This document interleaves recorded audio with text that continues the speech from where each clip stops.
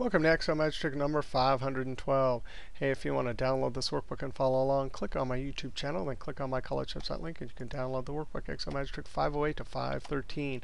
In this trick here, we want to talk about uh, discounts on something you've purchased. Now, sometimes uh, we have a kid's car bed at $279.99. And uh, this is actually something that uh, just happened to me the other day, and I couldn't believe how convoluted all of the uh, discounts could get. And I wanted to calculate it myself to see what the, the total um, discount was. So we started here, and this first in-store sign said $25 off. I said, great. And then I had a coupon for 25% off.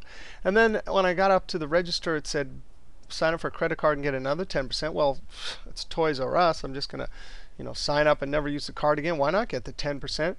Um, and then finally, there was a refund for part of the shipping shipping at 45 bucks. So here we're given two discounts with dollars and then some with percents.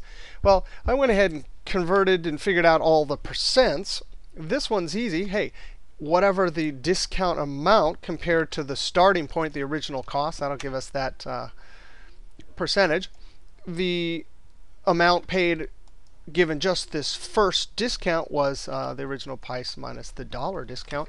And by the way, when you get a, a, bunch of discounts like this in a row, it's called a series uh, discount.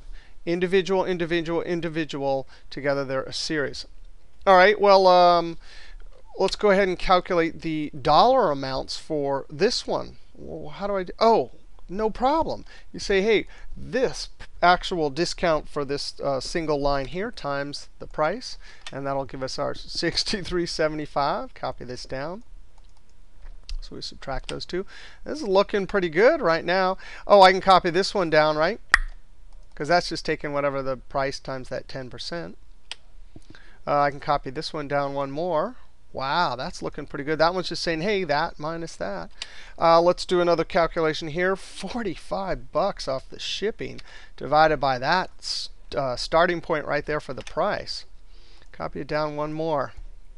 127. No way. Um, we could do uh, the percent paid for at each item. This is the actual discount that's associated with that part there. But what's the amount paid. Simply one, minus whatever our um, discount is, right?